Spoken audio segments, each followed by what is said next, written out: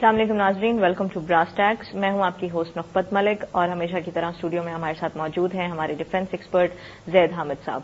जैसा कि आप जानते हैं, हम इकोनॉमिक टेररिज्म पे एक सीरीज़ कर रहे हैं और उस सिलसिले में हम चौदह प्रोग्राम्स अब तक कर चुके हैं। अभी हुकूमत को ऐसे क्या मेजर्स हैं, ऐसे क्या स्टेप्स हैं जो लेने चाहिए इकोनॉमिक टेररिज्म के हवाले से हम उनको डिस्कस कर रहे हैं। पिछले एपिसोड में हमने बात की थी प्राइवेट बैंकिंग के हवाले से और उसको नहीं होना चाहिए। जैद हामिद साहब आप हम प्रोग्राम को कंटिन्यू इसी बात से करेंगे। आप मुझे सबसे पहले ये बताइए सर कि प्राइवेट बैंकिंग के नुकसान क्या हैं? देखिए हम जो पिछले चौदह प्रोग्रामों में पूरी इकोनॉमिक सिस्टम इकोनॉमिक पॉलिसीज़ और इकोनॉमिक सिस्टम की हिस्ट्री को डिस्कस करते चले आए हैं इसके बाद तो ये बात बिल्कुल वाजे हो जाती है कि प्राइवेट बैंकिंग सिस्टम और प्राइवेट बैंकिंग इंटरेस्ट माशरे को किस तरह तब्दील करते हैं या कंट्रोल करते हैं हम उनके कुछ बेसिक पैरामीटर्स की पहले बात करते हैं हम्म। देखिए सबसे बड़ा नुकसान जो प्राइवेट बैंकिंग का है वो ये है कि दौलत चंद हाथों में जमा होकर रह जाती है चंद हम्म। ऐसे अफराद के हाथों में जिनका मोटिव प्रॉफिट नहीं ग्रीड है जिनका हम्म। मकसद चीज़ों को दुनिया को माशरे को सोसाइटी को कंट्रोल करना है। हम्म। तमाम माशरे की दौलत जब ऐसे चंद लोगों के हाथ में आ जाए तो बताते खुद it's a recipe for disaster ये तो तबाही के लिए पूरा सामान यहीं से शुरू हो जाता है। हदीस शरीफ है कुरान है दीन है बुनियादी अहकाम fundamental principles of economic policy system ये है कि चंद लोगों के हाथों में पूरे माशरे पूरे मुल्क की दौलत इकट्ठी नहीं होनी चाहिए। हम्म। दूसरा कि जब प्राइवेट बैंकिंग की एक सबसे स्ट्रांग एक्सरसाइज जिसके नतीजे में या प्रैक्टिस जिसके नतीजे में ये मास्टर में अपनी डेट बेस्ड रिबा बेस्ड इकोनॉमिक मॉडल को प्रैक्टिस करते हैं वो फ्रैक्शनल रिज़र्व बैंकिंग है। Fractional hmm. रिज़र्व का मतलब हम एक्सप्लेन कर चुके हैं कई दफ़ा के एक सौ रुपए को आप कई दफ़ा उसी को कर्ज दे दे के आगे लोगों को। तीसरा सूद का सारा कारोबार जितना भी इंटरेस्ट पे जब फ्रैक्शनल रिज़र्व के ज़रिए जब आप कर्ज देते हैं तो वो सूद पे दिया जाता है। तो सूद बजाते खुद। हम्म। और उसके बाद जो ग्लोबल इकोनॉमिक मॉडल है कि पूरी दुनिया को गोल्ड से हटाकर पेपर पे और पेपर से हटा के डिजिटल पे और डिजिटल से हटा के चिप्स के ऊपर जिस्म, जिस्मों के अंदर घुसा दी जाएँगी इस सारे इकोनॉमिक मॉडल को इंप्लीमेंट करने के इंस्ट्रूमेंट प्राइवेट बैंक है। सही। देखिए अब हम सिंप्लीफाई करते हैं। हम्म। पहली चीज़ हो गई प्राइवेट बैंकिंग बताते खुद। हम्म।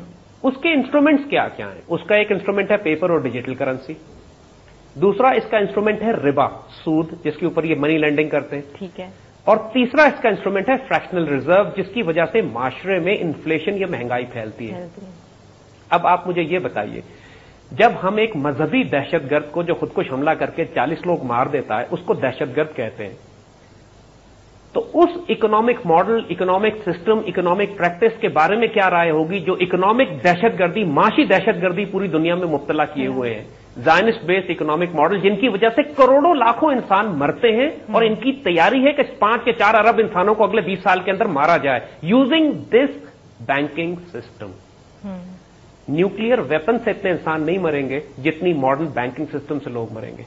इस वक्त जो तमाम दुनिया में फ़ूड क्राइसिस है फ्यूल क्राइसिस है पूरी दुनिया में जो इन्फ्लेशन है महँगाई है पूरी दुनिया के अंदर जो करेंसी डिवेल्युएशन की स्ट्रेटजीज है पूरी दुनिया के अंदर स्टॉक क्रैशेज हैं पूरी दुनिया के अंदर जो मैनिपुलेशन की जा रही है ग्लोबल फ्यूल फ़ूड और और एनर्जी सोर्सेज की वो तमाम मुमकिन ही नहीं है जब तक प्राइवेट बैंकिंग इंटरेस्ट पूरी दुनिया की ग्लोबल मनी सप्लाई कंट्रोल ना कर रहे हो।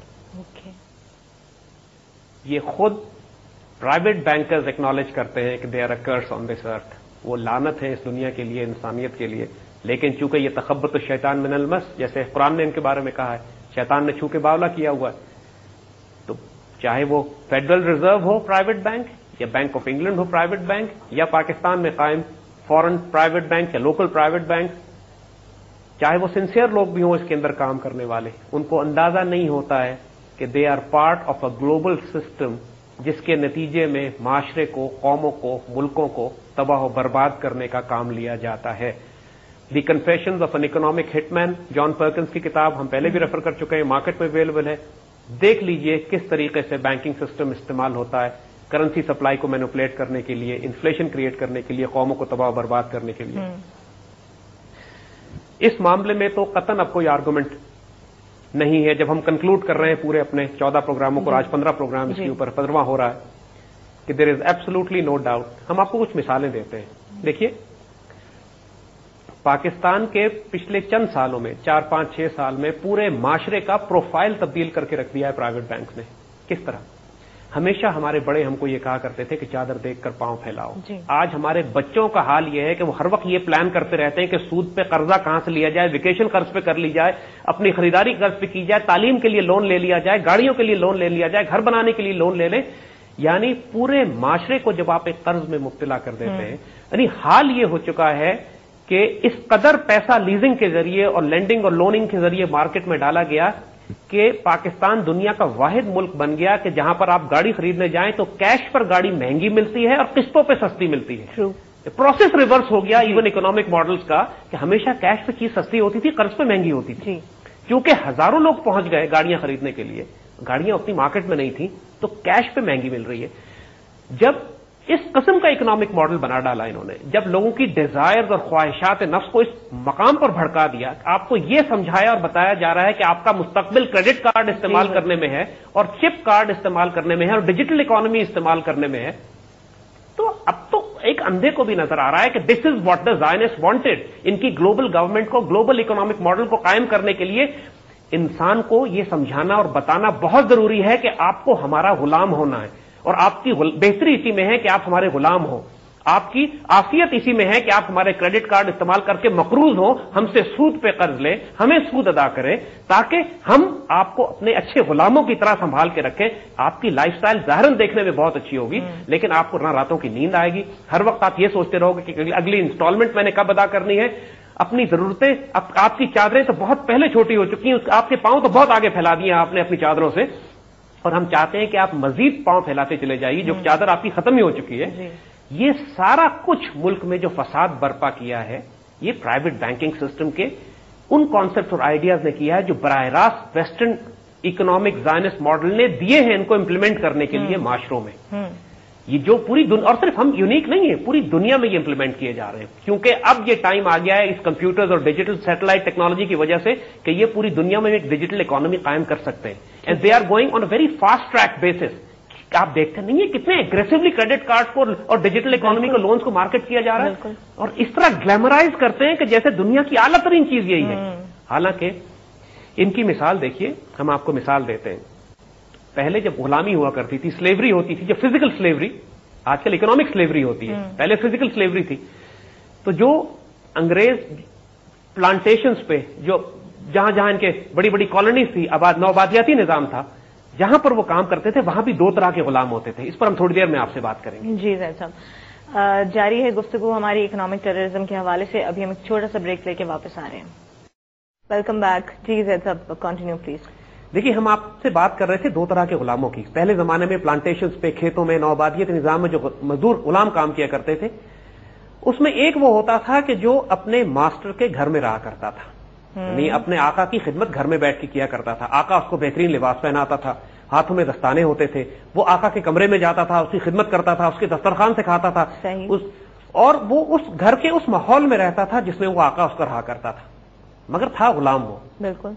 दूसरा गुलाम वो था जो खेतों में काम करता था जिसको कोड़े पड़ते थे जिसके हाथ काटे जाते थे जिसको फांसियाँ सूलियाँ चढ़ाई जाती थी जिसके पास खाने को कुछ नहीं होता था। और जो हसरत से देखता था आका के किचन की तरफ़ के वहाँ से को टुकड़े फेंक दी जाए तो मैं अपना गुजारा करूँ। थे दोनों गुलाम।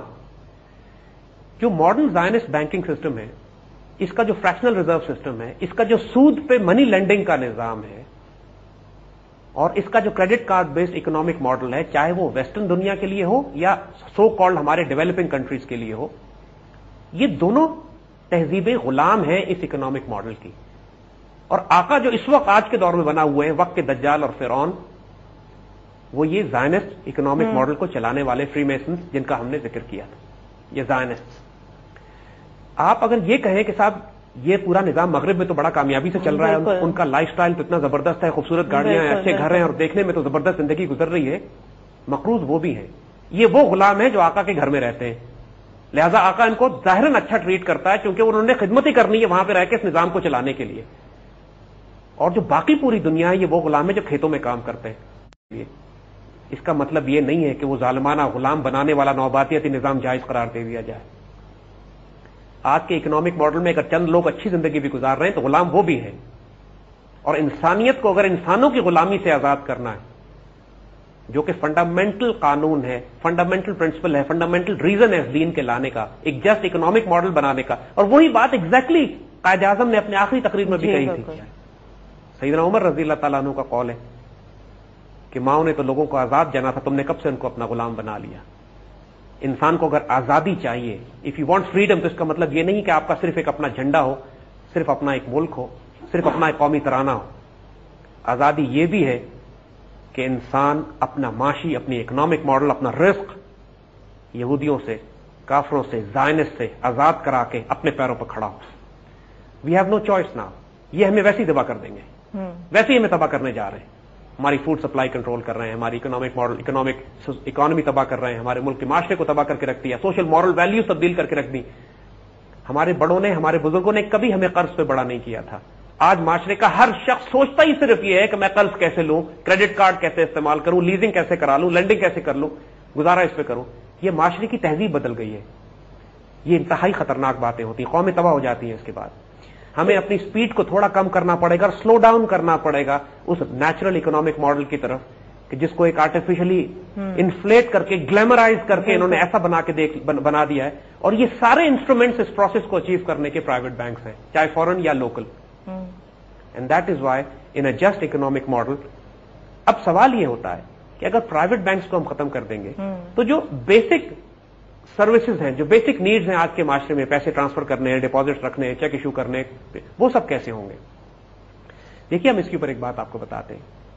पाकिस्तान में सरकारी बैंक्स भी हैं। जी। जो सरकारी बैंक्स होते हैं वो प्रॉफिट ड्रिवन या ग्रीड ड्रिवन नहीं होते। यानी उनका मकसद जो है बहुत प्रॉफिट कमाना या लालच के तहत ग्रीड लालच के तहत ऑपरेट नहीं करते वो। जिस तरह प्राइवेट बैंक्स हैं। प्राइवेट बैंक का मतलब दिन दूनी रात चौगनी बढ़ा चढ़ा के सूद लेना और ये सारी फ्रैक्शनल रिज़र्व का मकसद ये है कि रातों रात हम्म। पूरे माशरे को ये कंट्रोल कर ले। जैसे कि उस बैंकर ने कहा था बैंक ऑफ़ इंग्लैंड के चेयरमैन ने कि हम लोग रातों रात सारी दौलत हमसे ले भी ली जाए तो सिर्फ़ डिपॉजिट करने की ताकत हमें दे दी जाए तो हम रातों रात पूरी दुनिया को खरीद सकते हैं दोबारा। ये इख्तियार और ताकत सिर्फ़ प्राइवेट बैंक्स के पास होता है। हम्म। एक इंसान की फंडामेंटल रिक्वायरमेंट यह है कि वो अपने पैसे बैंक में रख सके। ड्रॉ कर सके और चेक इशू कर सके और मनी ट्रांसफ़र बिल्कुल। चेक भेजना है ड्राफ्ट बनवाना है पे ऑर्डर बनवाना है। ये सारे काम तो सरकारी बैंक भी कर सकता है। ठीक है। कोई इशू नहीं है इसमें। जी। और बाकी वो तमाम एस्पेक्ट्स जो एक माशरे को तबाह करते हैं credit card and digital currency and digital economy and fractional reserve and ये सारे मामला ये सारे प्राइवेट बैंकिंग के हैं। हम्म। सरकारी बैंक भी करते हैं इनको लेकिन सरकारी बैंक्स को अभी हम अगले स्टेप्स पे यही आएँगे कि सरकारी बैंक्स को क्या करना चाहिए क्योंकि हम स्टेप्स वही डिस्कस कर रहे हैं जो हुकूमत वक्त को लेने चाहिए। बिल्कुल। अपने माशरे को महँगाई से इन्फ्लेशन से डीवैल्यूएशन से करप्शन से मॉरल डीजेनरेशन से डिजिटल इकोनॉमी से और इस जायनस इकोनॉमिक ऑर्डर से निकालने का पहला स्टेप यही है कि प्राइवेट बैंकिंग को एलिमिनेट करना पड़ेगा। ठीक है। और ये बात मैं नहीं कह रहा हूँ सिर्फ़। खुद अगर आप जायनिस के अपने ओरिजिनल पेपर्स उठा के देखिए जिसमें वो ये बात कर रहे हैं कि जब हम दुनिया पर एक ग्लोबल इकोनॉमी कायम कर लेंगे पूरी दुनिया को कंट्रोल कर लेंगे और जिन जिन इलाकों पर हम कब्जा करेंगे वहाँ पर ये कहते हैं कि हम किसी और को प्राइवेट बैंक बनाने की इजाज़त नहीं देंगे हम्म। सिर्फ़ हमारे स्टेट कंट्रोल बैंक्स होंगे हम्म। यानी खुद तो ये दुनिया को तबाह करने के लिए प्राइवेट बैंक्स को छोड़ा हुआ है हम्म। लेकिन जब इनकी हुकूमत कायम हो जाएगी तब किसी और को इजाज़त नहीं देंगे कि वो प्राइवेट बैंक कायम करे वहाँ पे उस वक्त सिर्फ़ इनके स्टेट बैंक होंगे अच्छा। वे जो पूरी दुनिया की इकोनॉमी और पूरी दुनिया की मनी सप्लाई को कंट्रोल करेंगे ये इनके अपने पेपर्स में लिखा हुआ है बुक्स अवेलेबल है प्रिंट हुई हुई है इस पर दे रियलाइज़ दिस कि प्राइवेट बैंकिंग जो हुकूमत से इंडिपेंडेंट होकर पॉलिसीज़ बना रही हो और माशरे के पूरा फैब्रिक तब्दील कर दे इकोनॉमिक सोशल मॉरल इंतहाई खतरनाक चीज़ होती है। ये तो, वैसे ही है कि जैसे दहशत गर्द आके पूरे माशरे को दहशत में मुबतला कर दे और फैब्रिक तब्दील कर दे। जैसे साहब प्राइवेट बैंकिंग के जो नुकसान हैं वो तो सामने आ गए। अब मेजर्स क्या हैं? अब ऑल्टरनेटिव क्या है जो इसके लिए लिया जा सकता है? देखिए बात जैसे हमने आपको बताई एक चीज़ जब तय हो चुका है कि वो पॉइजन है हम्म। वो जहर है तो उसके बाद कोई ऑप्शन नहीं है। It has to be put side ठीक है। बाकी सवाल यह होता है कि माशरे के अंदर फिर मनी सप्लाई कौन कंट्रोल करेगा? क्योंकि ज़ाहिर है जो पैसे प्राइवेट बैंक्स में हैं अगर आप प्राइवेट बैंक को डिस्करेज करते हैं डिस्करेज करने का तरीका क्या है? डिस्करेज करने का एक तरीका यह है कि आप कह दीजिए सूद पे कारोबार आप नहीं करेंगे वैसे ही बंद हो जाएँगे वो। दूसरा तरीका है कि आप कह दीजिए कि फ्रैक्शनल रिज़र्व जो अभी सात आठ नौ दस परसेंट जितना भी वो रखते हैं बाकी एट्टी नाइन्टी परसेंट वो सूद पे आगे कर्जे दे देते हैं आप उनसे कह दीजिए फ्रैक्शनल रिज़र्व पे आप बैंकिंग नहीं कर सकते। यानी जितने पैसे आपके पास हैं उतना ही आप कर्ज दे सकते हैं उससे ज़्यादा नहीं दे सकते। ये तब भी बंद हो जाएँगे। ठीक है। आप इनको मना कर दीजिए कि आप ये जो माशरे को कर्ज में मुबतला करने के लिए false credit credit card digital currency digital economy leasing lending loaning ये सारा सिलसिला आपने शुरू किया हुआ इसको बंद कर दीजिए। फिर भी इनको प्रॉफिट नहीं होगा फिर भी ये बंद हो जाएँगे। द क्वेश्चन इज़ कि इनकी बुनियाद सारा कुछ रिबा और सूद पे है और सूद के मुख्तलिफ़ डेरिवेटिव पे है मुख्तलिफ़ शक्लों पे है उसको इंप्लीमेंट करने के लिए। सूद बताते खुद एक बुरी चीज़ है। ठीक है। फ्रैक्शनल रिज़र्व मजीद एक नापाक चीज़ है। और पेपर करेंसी उससे बड़ी नापाक चीज़ है। तो ये तो पूरा सिस्टम ही इस पे चल रहा है। आप किसी एक को भी निकाल दें तो ये कोलैप्स कर जाता है। हम इस वक्त एक ऐसे माशरे में रह रहे हैं कि जिसमें ओवरनाइट स्विच करना पेपर करेंसी से गोल्ड इकोनॉमी की तरफ़ या रियल वेल्थ इकोनॉमी की तरफ़ फ़िलहाल ओवरनाइट पॉसिबल नहीं है। नहीं है। लेकिन कम अज कम जो पेपर इकोनॉमी की भी जो नापा ज़्यादा बुरी चीज़ें हैं उनको तो रिड्यूस किया जा सकता है। और सबसे बड़ी बुरी चीज़ पेपर करेंसी इकोनॉमी की यह है कि मनी सप्लाई प्राइवेट हाथों में हो। प्राइवेट हाथों से निकाल के इसको पहले तो कम अज कम स्टेट के हाथ में लाइए। ठीक है। सरकारी बैंक अब गो के बैंक की इस्तेमाल में इसलिए इस्तेमाल कर रहा हूँ कि ये पेपर इकोनॉमी बेस्ड ही है। जब ये रियल वेल्थ बेस्ड होगा तो हम इसको बैंक नहीं कहेंगे बैतल माल कहेंगे। जी। सरकारी बैंक जैसे नेशनल बैंक है और मुख्तलिफ़ सरकारी बैंक जो मौजूद है यहाँ पे वो तमाम सर्विसेज़ दे सकते हैं जो कि एक बेसिक माशरे को अपना सिस्टम चलाने के लिए चाहिए। ठीक है। जिसमें डिपॉजिट्स भी हैं अकाउंट्स भी हैं ट्रांसफ़र ऑफ़ मनी भी है इवन लोनिंग भी है। ठीक है। और सरकारी बैंक चूँकि सरकार कंट्रोल करती है हुकूमत कंट्रोल करती है और उसके वो मोटिव नहीं होते कि जो प्राइवेट बैंकिंग के होते। हैं हम्म। और ये ज़ाहिर है क्रेडिट कार्ड को और डिजिटल करेंसी को डिजिटल इकोनॉमी को लीजिंग को लोनिंग को लैंडिंग को इस तरह प्रमोट नहीं करेंगे तो माशरे में एक ठहराव आ जाएगा। देखिए जब आप 140 पे जा रहे हैं और हादसा बिल्कुल होने वाला हो तो समझदारी ये कहती है कि स्पीड कम करके 70 अस्सी पे आ जाइए। हम्म। सिचुएशन कंट्रोल की जा सकती है। तो फ़िलहाल हम सिर्फ़ स्पीड स्लो करने की बात कर रहे हैं। ठीक है जैसे आप बात कंटिन्यू रखेंगे अभी हम एक छोटा सा ब्रेक ले रहे हैं वापस आ रहे हैं। वेलकम बैक जी साहब प्लीज़ कंटिन्यू देखिए जिस लम्हे आप माशरे में जिस वक्त आग लगी हुई है कर्ज की लोन की इन्फ्लेशन की ये सारी तबाही को थोड़ा स्टेबलाइज करने की ज़रूरत है ताकि कम से कम इस पेपर इकोनॉमी के अंदर भी रहते हुए हम कुछ ऑपरेट कर सके कुछ स्टेबल पॉलिसीज़ बना सके। इस वक्त तो लिटरली आपे से बाहर हो गया सारा मामला। और ये सब प्राइवेट बैंकिंग की वजह से हुआ है। सरकारी bank state bank and nationalise bank will have to take more responsibility है बिल्कुल। और देखिए अब हम यहाँ पर आते हैं। जहाँ तक हमने बात की इस क्रेडिट देने की सूद देने की जहाँ तक हमने बात की माशरे में डिजिटल इकोनॉमी की फ्रैक्शनल रिज़र्व की सरकारी बैंकों पर ऐसी कोई हाजत नहीं है ऐसी कोई ज़िम्मेदारी नहीं है ऐसी कोई कंपल्शन नहीं है कि ये भी इसी किस्म की बैंकिंग प्रैक्टिसेस करें। सरकारी है ना? ठीक है। और जो लोगों को सर्विसेज़ देनी है वो ये सारे दे सकते हैं। लिहाजा अगला मेजर जो हम हुकूमत के लिए रिकमेंड करेंगे कि जब ये सरकारी बैंक ये सारी सर्विसेज़ देना शुरू करते हैं देखिए हमने आपको तीन चीज़ें बताई थी। एक पेपर करेंसी थी एक रिबा था एक फ्रैक्शनल रिज़र्व थी। बिल्कुल। हम पेपर करेंसी को आखिर में खत्म करेंगे। पहले रिबा और फ्रैक्शनल रिज़र्व को खत्म करते हैं। ठीक है। जब सरकारी बैंकिंग सिस्टम टेक ओवर करेगा हम्म। तो वो मसलन नेशनल बैंक में तमाम सरकारी इदारों के अकाउंट्स हैं। और सब अपने अकाउंट्स पर सूद लेते भी हैं और नेशनल बैंक उन डिपॉजिट को आगे सूद पर देता भी कॉर्पोरेट लेवल पर या मुख्तलिफ़ लेवल पर सूद पे देता भी है। ठीक है। नेशनल बैंक को भी या सरकारी बैंकों को भी सूद पर कारोबार बंद कर देना चाहिए अब। सही और ये हम आपको अश्योर करते हैं कि इसके बावजूद ये प्रॉफिट में रहेंगे। इसके बावजूद ये सस्टेन कर सकेंगे। देखिए फेडरल शरीयत कोर्ट ने भी और सुप्रीम कोर्ट ने भी हुकूमत को बड़े वाजे तौर पे कहा हुआ है कि आप रिबा और सूद का निज़ाम खत्म करके ऑल्टरनेट दूसरा निज़ाम शुरू कीजिए। क्योंकि ये करना ही नहीं चाहते थे लिहाजा इन्होंने कोई हल ही तलाश नहीं किया। और बार बार उसी जजमेंट्स को जो सुप्रीम कोर्ट की आई है फेडरल शरीयत कोर्ट की आई है कंफ्यूजन फैलाने के लिए एक दूसरे की तरफ़ भेज रहे हैं कि आप फैसला कीजिए और आप फैसला कीजिए। और मामले को इतने अरसा डिले कर दिया है सोल्यूशन बहुत सिंपल है। पूरे माशरे की मनी सप्लाई जब स्टेट बैंक्स में आ जाएगी प्राइवेट बैंक से लेकर जब सरकार और रियासत माशरे की मनी सप्लाई कंट्रोल करेगी और फ्रैक्शनल रिज़र्व बैंकिंग पर पाबंदी लगा दी जाएगी। हम्म। आप कोई पैसा कर्ज नहीं दे सकते जो आपके पास नहीं है। कर्ज उसी पैसे को दें जो है आपके पास। हम्म, पहली बात।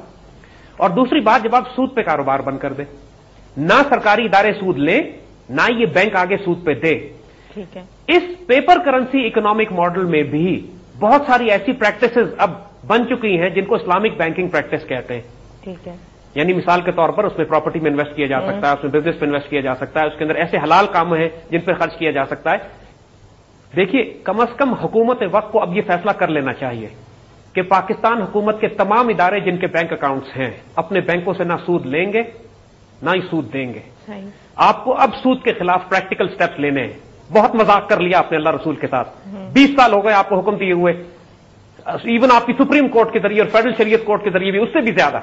कि इस मामला को खत्म करो? लेकिन कोई हद होती है बेशर्मी की और बेहयाई की कि सूद के निज़ाम को खत्म करने के लिए एक स्टेप नहीं लिया, किसी हुकूमत ने बीच में जो आई। नाफ अब बस करें इस मामले को। अब आपको अल्लाह रसूल से जंग को अपनी बंद करना पड़ेगा। अब कि कोई कयामत नहीं बर्पा हो जाती मिनिस्ट्री ऑफ़ इंटीरियर को और मिनिस्ट्री ऑफ़ इंफॉर्मेशन को और मिनिस्ट्री ऑफ़ कम्युनिकेशन को कि जो उनके बैंक अकाउंट्स हैं उसमें ये सूद लेना बंद कर दें अगर तो। जितने पैसे हैं उतने ही पैसे रखो। पेपर करेंसी बेस ही रखो लेकिन सूद लेना बंद करो। देखिए बहुत सारे बैंक अकाउंट आजकल भी मॉडर्न इकोनॉमिक सिस्टम में भी सेविंग्स अकाउंट होते हैं कुछ सूद वाले और कुछ करंट अकाउंट्स होते हैं। करंट अकाउंट पे सूद नहीं होता चाहे पेपर करेंसी हो उसको हम इस्लामिक नहीं कहते लेकिन बहरहाल सूद नहीं है उसमें भी। तो तमाम सरकारी इदारे इनको क्या बीमारी लगी हुई है कि ये सूद खा खा के अपने अकाउंट्स को बढ़ाने की कोशिश कर रहे होते हैं? जितना पैसा है उसमें क्यों नहीं गुजारा करते?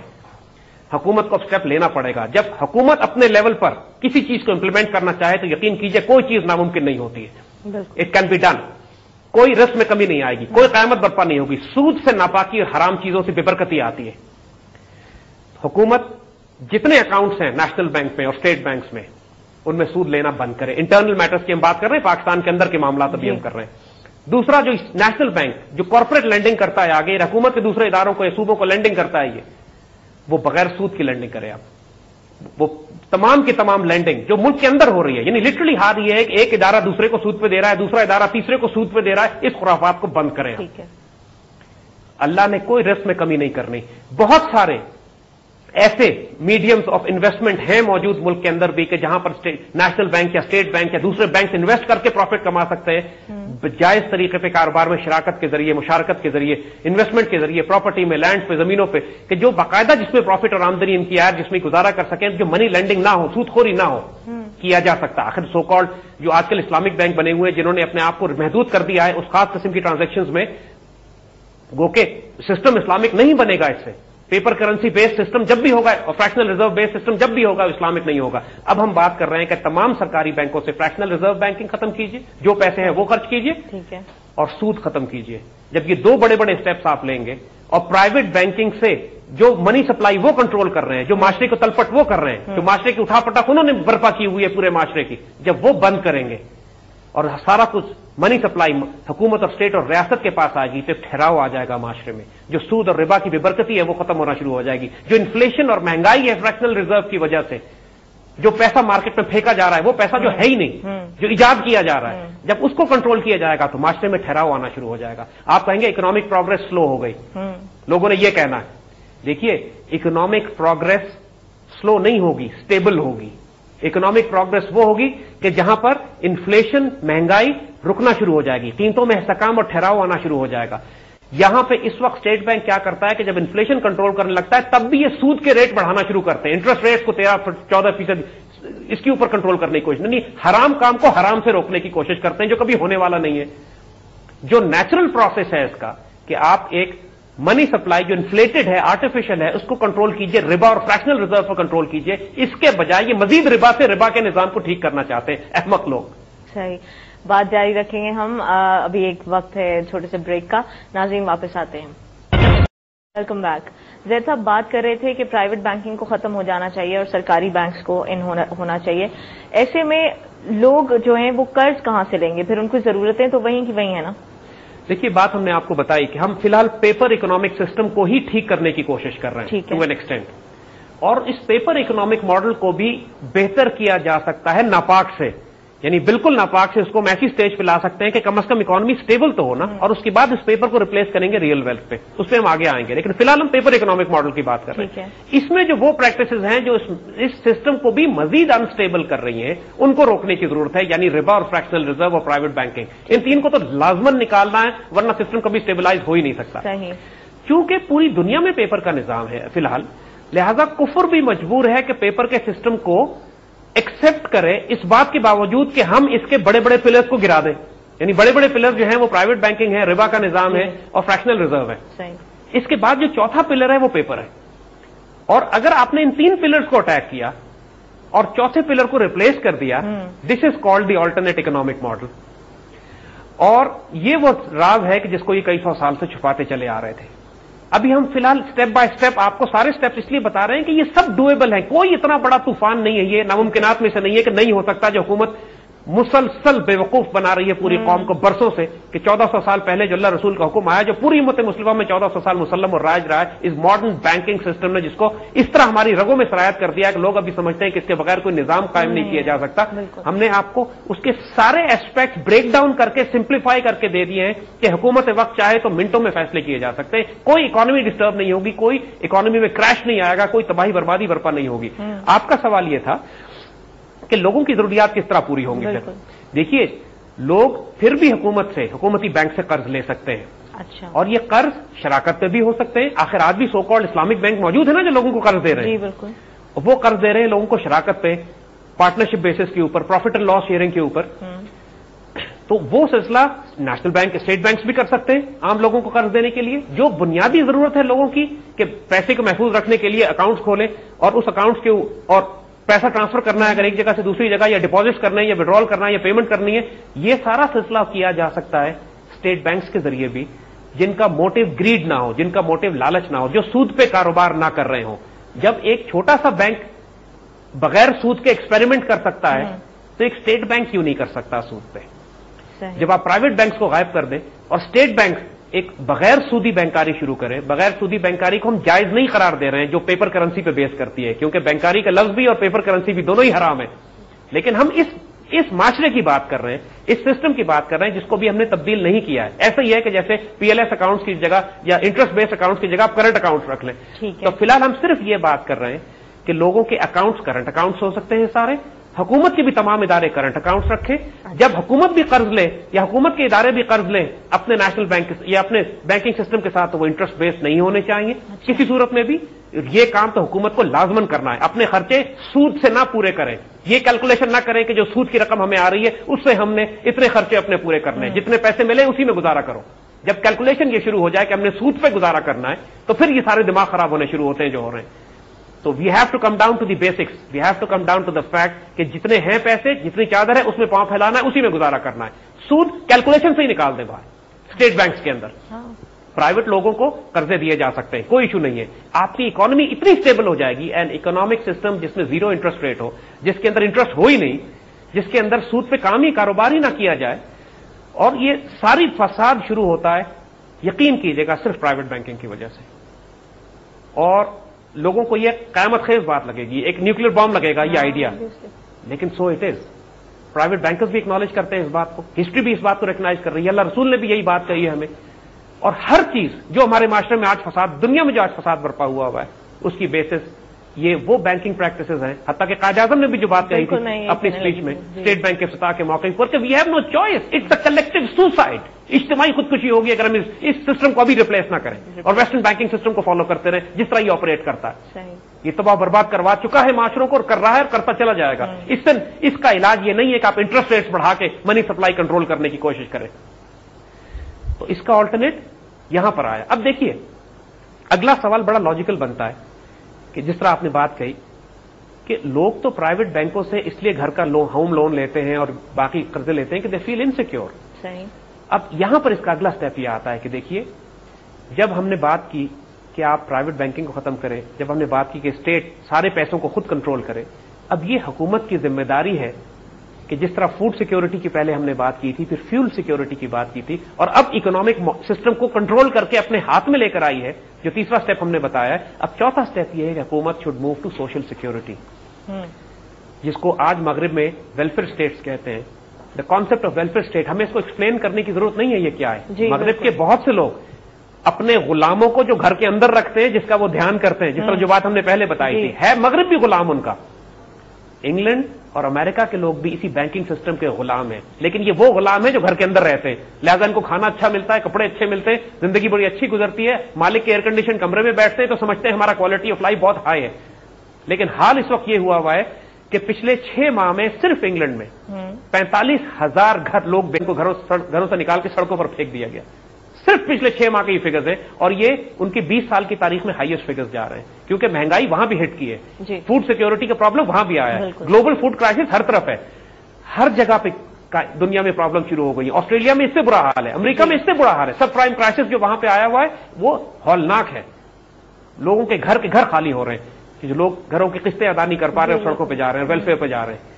ये मसला उनके साथ भी है। उनके अच्छे गुलाम भी जो बादशाह के साथ बैठा करते थे उसके एयर कंडीशन कमरे में अब निकल के खेतों में जा रहे हैं वो। ये इस हर माशरे का इंसान तकलीफ़ में इस बैंकिंग सिस्टम की वजह से। तो अब पाकिस्तान की हुकूमत जब वो स्टेप्स ले लेगी जो हमने ऊपर बताए तो नेक्स्ट लॉजिकल स्टेप जो इसके साथ है वो सोशल सिक्योरिटी है। सोशल सिक्योरिटी का मतलब है कि एक जेनविन बैतुल माल का कयाम वजूद में लाइए अच्छा। देखिए कैनेडी ने फेडरल रिज़र्व बैंक को तोड़ने के लिए बराह रास्त एक पैरल सिस्टम शुरू किया था। कैनेडी ने ये ऑर्डर पास किया था। ये पूरी तफसील हम डिस्कस कर चुके हैं। उसने कैनेडी डॉलर्स जारी किए थे। उसने ये हुक्म जारी किया था कि अमेरिकन हुकूमत अपने बैंक नोट्स खुद प्रिंट कर सकती है और उसको फेडरल रिज़र्व से कर्जा लेने की ज़रूरत नहीं है। तो बेसिकली उस जमाने में हुआ यह था कि अमेरिका में दो निज़ाम बन गए थे अमेरिकन डॉलर प्रिंट करने के। एक फेडरल रिज़र्व था एक कैनेडी था। कैनेडी भी अपने डॉलर्स प्रिंट कर रहा था फेडरल रिज़र्व भी प्रिंट कर रहा था। लेकिन कैनेडी जब अपने डॉलर प्रिंट कर रहा था तो इसका मतलब यह था कि उसको फेडरल रिज़र्व से कर्ज लेके काम नहीं करना पड़ रहा था और उसने कैनेडी डॉलर्स जो कि चांदी के सिक्के थे वो जारी किए थे। इस पर हम आगे बात करेंगे। जी बिल्कुल हम आगे बात करेंगे और हम एक छोटा सा ब्रेक लेके वापस आ रहे हैं। वेलकम बैक जी प्लीज़ कंटिन्यू देखिए इस निज़ाम को रिप्लेस करने के लिए एक साथ साथ पैरल ऑल्टरनेट निज़ाम बिल्कुल वैसे ही बनाना पड़ेगा कि जैसे कैनेडी ने बनाया था। कैनेडी को तो उन्होंने सैसनेट करके मार दिया। ठीक है। लेकिन उसके सिल्वर डॉलर्स और वो कानून आज भी अमेरिका में मौजूद है और अमेरिका का कोई बादशाह कोई सदर अगर ये चाहे कि मैं फेडरल रिज़र्व से कर्ज लिए बगैर अपने नोट छापूं तो वो छाप सकता है। लेकिन हिम्मत कोई नहीं करता इसलिए कि वो कैनेडी का नतीजा देख चुके हैं।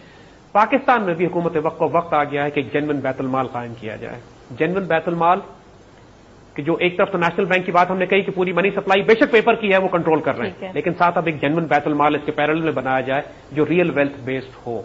यानी इंसानों की तमाम वो जरूरियात जो पूरे करने की है जिसको एक इस्लामिक वेलफेयर स्टेट कहते हैं या एक मॉडर्न वेलफेयर स्टेट कहते हैं जिसमें लोगों की बेसिक फंडामेंटल ज़रूरत उनके घर पर छत हो उनके पास तालीम हो उनके पास उनके पास सेहत का इंतज़ाम हो उनको पीने का साफ़ पानी हो उनके घरों में बिजली पानी और गैस मिल रही हो यह हर इंसान का बुनियादी हक है। सही। और जब वो तमाम मामला कि जो हमने अपने इकोनॉमिक टेररिज्म के उस प्रोग्राम में जो एक कम्युनिटी को करने चाहिए, यानी वो स्टेप्स के जो एक कम्युनिटी को लेने चाहिए, जिसमें किफालत है, जिसके अंदर तामुल मिस्कीन है, जिसके अंदर तालीम और जिसके अंदर एक कलेक्टिव हमने कहा था कि बैतुलमाल कम्युनिटी बैतुलमाल बनाइए, इसी लेवल पर, इसको नेशनल लेवल पर बैतुलमाल बनने की ज़रूरत है। उस तरह का बैतुलमाल नहीं, जैसे आजकल बना हुआ है, जो मज़ाक है। जब इमानत और खयानत का ध्यान किया जाएगा, जब बैतुलमाल के पैसे को बैतुलमाल ही का पैसा और इमानत समझ के खर्च किया जाएगा। जब एक ऐसा देखिए बैंक पेपर करेंसी में डील करते हैं सिर्फ़। हमने स्टेट बैंक की बात की जो पेपर में करेगी। अब हम बैतुल माल की बात कर रहे हैं जहाँ पे कमोडिटीज होंगी। कमोडिटीज का मतलब है कि यहाँ पे गंदम होगी यहाँ पे स्टॉक्स होंगे फ़ूड सप्लाईज होंगी यहाँ पे गोल्ड एंड सिल्वर करेंसीज होगी या गोल्ड डिपॉजिट्स होंगे रिज़र्व होंगे जो आजकल हमारे स्टेट बैंक के पास है। स्टेट बैंक का नाम इन रियल टर्म्स होना तो बैतुल माल चाहिए वो हम आगे डिस्कस करेंगे। लेकिन और इनफैक्ट ये बात बड़ी दिलचस्प है यहाँ पर कि जब पाकिस्तान बना था तो आज़ाद कश्मीर में जो कश्मीर आज़ाद करा लिया गया था वहाँ पर स्टेट बैंक को बैतुल माल ही कहा जाता था। शुरू में स्टेट बैंक बैतुल माल कहलाता था। बाद में इसका नाम स्टेट बैंक रखा गया और ये सारा सिलसिला शुरू हुआ। तो बहरहाल तो जो बैतुल माल का कॉन्सेप्ट है जो सारे इश्यूज़ हम डिस्कस कर चुके हैं पहले कलेक्टिव हम्म। अरेंजमेंट में जो एक इज्तमाही तौर पर मुसलमानों को करने चाहिए वो स्टेट लेवल पर किए जाए। एग्जैक्टली वही स्टेप्स हैं जो स्टेट लेवल पर ले। और पूरे मुल्क के हर शख्स की ज़िम्मेदारी आराम से उठाई जा सकती है। अल्लाह के फजल से हमारे पास वसाइल भी हैं हमारे पास दौलत भी है हमारे पास ज़मीन के खजाने भी मौजूद हैं। हमारी सबसे बड़ी दिक्कत क्यादत और करप्शन है। सबसे बड़ी दिक्कत हमारी यही है। जो वसाइल पेपर करेंसी में भी हमारे पास अवेलेबल हैं जो खर्च भी हो रहे हैं इस्तेमाल भी हो रहे हैं नब्बे फ़ीसद उसमें से हराम में जाया हो जाते हैं नापाकी में जाया हो जाते हैं हम्म। इस्तेमाल नहीं होते। हम्म। सिर्फ़ अगर हुकूमत यह शोर कर ले यकीन कीजिएगा इस मुल्क में कोई शख्स ना भूखा होगा ना किसी बच्चे के बगैर तालीम के वो रहेगा ना किसी के सर पे ऐसा होगा कि इसके सर पे छत ना हो। हम्म। कोई तकलीफ़ इस मुल्क में इंशाला हो ही नहीं सकती अगर इन तमाम मेजर्स को फॉलो कर लिया जाए कि जो हम बता रहे हैं इन स्टेप्स में। अब हम एक अगले स्टेप की तरफ़ आएँगे जब हम बैतुल माल की बात करते हैं तो उसका सबसे क्रिटिकल और इंपॉर्टेंट एलिमेंट यह होगा कि जिस तरह कैनेडी ने कैनेडी डॉलर्स जारी किए थे इस तरह जो बैतुल माल होगा उसको अब ऑफिशियल सोने और चांदी के सिक्के जारी करने चाहिए। देखिए सोने और चांदी के सिक्के जब पाकिस्तान बना है तो चांदी का सिक्का उस वक्त भी हुआ करता था। उस वक्त हुकूमत वक्त ने यह किया था कि चांदी के सिक्कों को पेपर करेंसी से बाँध दिया था। मसलन ये कहा कि चांदी एक रुपया पेपर करेंसी जो है एक रुपए का जो पेपर करेंसी है वही एक रुपए के चांदी के सिक्के की होगी। नतीजा ये हुआ कि चंद दिनों के बाद चांदी महँगी हो गई। और लोगों ने चांदी के सिक्के पिघला पिघला के चांदी में इस्तेमाल कर लिए। और सिक्के खत्म हो गए। अब जो गोल्ड एंड सिल्वर कॉइन्स जो बैतुल माल को जारी करने चाहिए पैरेलल करेंसी के तौर पर देखिए जिस तरह कैनेडी बैंक नोट्स भी थे और कैनेडी डॉलर्स भी थे। जी। इस तरह पाकिस्तान हुकूमत के पेपर करेंसी और पाकिस्तान हुकूमत का सोने और चांदी का सिक्का दोनों जारी होने चाहिए लेकिन इनकी आपस की रिलेशनशिप फिक्स नहीं होनी चाहिए। गोल्ड कॉइन की प्राइसेस वो होनी चाहिए जो इंटरनेशनल मार्केट में है। अच्छा। नतीजा ये होगा कि अगर आज सौ रुपए का गोल्ड कॉइन है या सौ रुपए का सिल्वर कॉइन है अगर दुनिया में सिल्वर के रेट्स बढ़ते हैं तो वो 120 रुपए का सिल्वर कॉइन हो जाएगा। तो फिर लोग सिल्वर कॉइन को पिघलाएँगे नहीं उसको करेंसी के तौर पर इस्तेमाल करेंगे। और दूसरा जो सिल्वर कॉइन्स और गोल्ड कॉइन्स को रिज़र्व के तौर पर रखेगा वो वो गोल्ड इंटरनेशनल गोल्ड प्राइसेस और सिल्वर प्राइसेस के साथ साथ उसकी सेविंग्स को भी प्रोटेक्शन मिलती रहेगी। सही। अगर प्योर सिल्वर जो कि कॉइन की शक्ल में है और प्योर सिल्वर जो मार्केट में मिल रहा है दोनों की प्राइसेस एक हैं तो लोग फिर इस सिल्वर कॉइन को पिघलाना नहीं शुरू करेंगे। वो एक इसी तरह करेंसी के तौर पर इस्तेमाल होना शुरू करेगा जिस तरह खालिश चांदी मार्केट में इस्तेमाल होती है या। खालिश सोना मार्केट में इस्तेमाल होता है। अब सोने और चांदी के सिक्के दोबारा इस्तेमाल करने का वक्त आ गया है। हुकूमत वक्त को लाजमन दोबारा सोने और चांदी के सिक्के जारी करने चाहिए जो मुसलमान लेकर कम अज कम जक़ात इसमें अदा करें। जी। जो मुसलमान लेकर अपनी सेविंग्स इसमें बनाएँ। जो बैंक्स में नहीं रखना चाहते अपनी सेविंग्स इसमें करें। और हमने कल जो कम्युनिटी के तौर पे मुसलमानों को इज्तिमाही तौर पे जो काम करने चाहिए थे उसमें हमने ये रेकमेंड किया था कि मुसलमान ज्वेलर्स मुसलमान गोल्ड एसोसिएशन को चाहिए कि सोने और चांदी के सिक्के जारी करें अगर हुकूमत नहीं करती। अच्छा। अब हम हुकूमत वक्त से कह रहे हैं कि हुकूमत को ये काम करना चाहिए क्योंकि now it is high time कि आप लोगों को पेपर करेंसी सिस्टम से निकालें। जो भी इस्लामी हुकूमत पाकिस्तान में आएगी जो भी सिंसियर हुकूमत होगी वो इन सारे स्टेप्स को लाजमन करेगी। जो हुकूमत नहीं करेगी उसकी असलियत हमें कहने की ज़रूरत नहीं है ये वो हैं जो हैं। और इस इकोनॉमिक मॉडल को जब आप इंप्लीमेंट करना शुरू करेंगे आहिस्ता आहिस्ता पेपर करेंसी को फ़ेज़ आउट करके आपने मूव करना है गोल्ड एंड सिल्वर इकोनॉमी के ऊपर। आपने नेशनल बैंक को भी क्लोज करके बैतुल माल की तरफ़ मूव करना है। और पहले प्राइवेट बैंकिंग को खत्म किया नेशनल बैंक पे आए नेशनल बैंक के बाद बैतुल माल की तरफ़ मूव किया। ये वो स्टेप्स हैं ये वो मूवमेंट है कि जो माशरे में एक तसादुम बर्पा नहीं करेगी माशरे में एक इतना बड़ा अपहीवल नहीं आएगा इकोनॉमिक और सोशल कि और इसको स्मूथली ट्रांजेक्ट किया जा सकता है। ये सारे काम दो या तीन साल के अंदर मुकम्मल किए जा सकते हैं जो पिछले 50 साल से हुकूमतें और फाइनेंस मिनिस्टर्स बेवकूफ़ बना रहे हैं बदनीयत लोग क्योंकि करना नहीं चाहते थे। लिहाजा इस तरीके वरना ये सोल्यूशन इतने सिंपल हैं इंप्लीमेंट करना कोई डिफिकल्टी इसमें नहीं है। एक तरफ़ आप करप्शन को रोकिए एक तरफ़ ज़मीन के खजाने इस्तेमाल कीजिए। आप मुल्क को फ़ूड सिक्योरिटी दीजिए आप मुल्क को फ्यूल सिक्योरिटी दीजिए। आप जो एक्सप्लॉयटेटिव प्रैक्टिसेस हैं जो तबाहकुन निज़ाम है मॉडर्न प्राइवेट बैंकिंग सिस्टम्स का, उसको कंट्रोल कीजिए। खुद ब खुद माहौल ऐसा बन जाएगा, दौलत पेपर करेंसी की ही, और फ़र्क, और और जाहिरी तौर पे माशरे में दौलत की, और गजा की, और खुराक की, और और सप्लाईज की, तजारत की इतनी फरावानी होगी कि आपको इतने, आपके पास आमदनी आना शुरू हो जाएगी कि आप बराह रास्त गोल्ड करेंसी की तरफ़ मूव कर सकते हैं। ये तमाम economic models one by one step by step हुकूमतों को लेने होंगे। हमने पूरा प्रोसेस अब बता दिया। जी। हम आइंदा उन स्टेप्स को डिस्कस करेंगे कि जो हुकूमत वक्त को मुल्क से बाहर करने हैं। मुल्क से बाहर का मतलब है कि जो फॉरेन एक्सचेंज रिज़र्व हैं जो इंटरनेशनल ट्रेडिंग है जो गैर मुल्कियों के साथ हमने मामला और डीलिंग करनी है उसमें हम क्या करेंगे?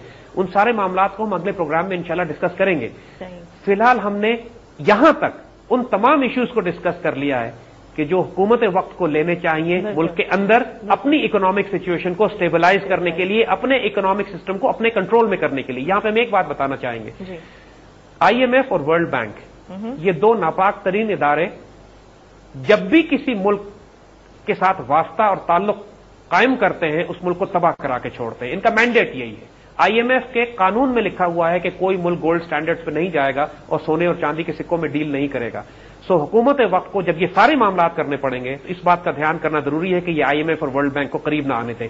जो कुछ करना है, वो हम अगले प्रोग्रामों में इंशाल्लाह डिस्कस करेंगे। जी जैद साहब, बहुत शुक्रिया एक बार फिर एक स्टनिंग प्रोग्राम के लिए, और हम अपनी गुफ्तगु जारी रखेंगे अगले प्रोग्राम में इकोनॉमिक टेररिज्म के हवाले से। नाजरीन, इजाज़त दीजिए ब्रास टैग से नुखपत मलिक को।